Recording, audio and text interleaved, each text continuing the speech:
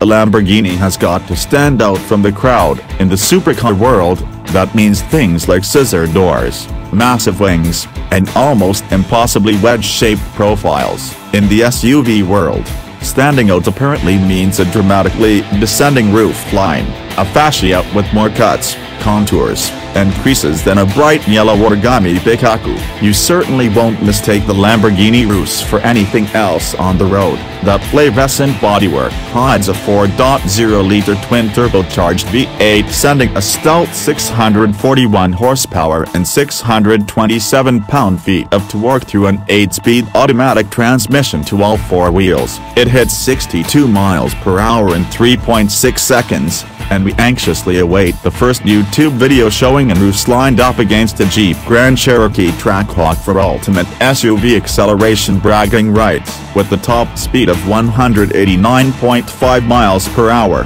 Rambo Lambo Parto seemingly makes good use of all those aero bits to outrun the Trackhawk by a solid 10 miles per hour and the Bentley Bentayga by a razor slim Troika. The Hypo engine is backed up with standard carbon ceramic brakes active roll control, and a torque vectoring rear differential. With all of these performance goodies employed, Lamborghini expects it to have a Nürburgring lap time that will break the Alfa Stelvio Quadrifoglio's outstanding 7.15 time. We can't imagine many owners taking an Urus off-road, but Lamborghini cites the low down-to-work of the turbocharged V8 as an off-pavement benefit, and, in addition to the expected modes of Strada, Sport, Corsa and Neve,